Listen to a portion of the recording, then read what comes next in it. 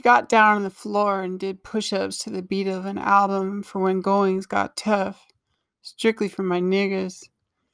He wasn't one of Tupac's niggas, but it didn't matter. The music affected him. It was close to the fateful day Tupac took lead, struggled, bled, and died. For every death, new life is born. Will rode the waves of beats and intonations of the poet, and the music drew him closer to the blunt expression he himself strived to put on paper. Truth outcasts its deliverer, so powerful it is, mix of joy and plain, pain, I mean, continuity and abandonment. Will feared less the thought of being outcasted and a recluse than being discovered and stricken with celebrity madness. He went out to the back deck, away from the music, warmed day old pizza in his toaster, and ate it. Didn't blot the oil. Then brushed his teeth. Flossed for the first time in a month. His gums started to bleed, and he watched in the mirror the blood surpass his bottom lip and roll down his chin. He didn't wipe it away, just watched it in the glass. The wonderful shade of crimson drawn down his face. His blood was vivid, full of color, flowed heavy and true. The pain conveyed and fleshed out in Tupac's lyrics inspired him, inspired him to write. I tried so hard, Bella.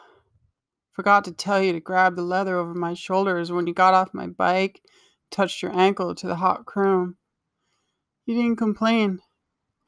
We walked up to the Baha'i temple with spikes on its buttresses pointing to the sky to keep the pigeons and their alabaster away from its bleached surface.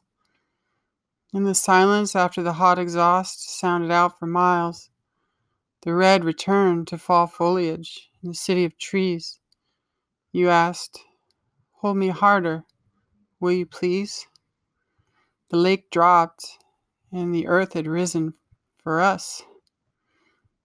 The ridge we stood upon while we smoked and looked down. The wind picked up, and the sun demanded the clouds part. The moon, a faint outline, dressed in sky, for us. His thoughts didn't make more sense. The words and aligned letters on papers made sense in nothing. Nothing made more sense. Here, where are my leather for the return, you who understood the failure of society that essays to protect us from ourselves, the means that kill the end that would be life in its most natural form? life that extends the imagination and breaks down all laws and barriers and makes for great struggle and emotion. Where Wear my leather for the return, you who understand, who live in the crow's nest, watching over yourself, who live in the valley, the hollow of time. Let us return together.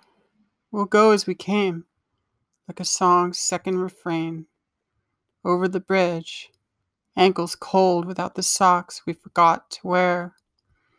The music pipes in the anteroom for us, four in the morning. He was with her at that moment. She lay there in tears on her bed, Bella, her bedroom very small. He could see her. He asked her in the Harley shirt she gave him if there was anything he could do before he hit the road, then avenue, then shore drive, then highway, away from her and what had caused her such pain and him loss of sleep. They had invited it in for dinner, and it had stayed through breakfast and overwore its welcome. Then she left his mind, and he hit the road on his bike, covered the avenue, and rose into fifth in heavy wind on the highway. He could not believe he would have thousands of miles ahead of him to cover, and no cover. Thousands of miles of memories of her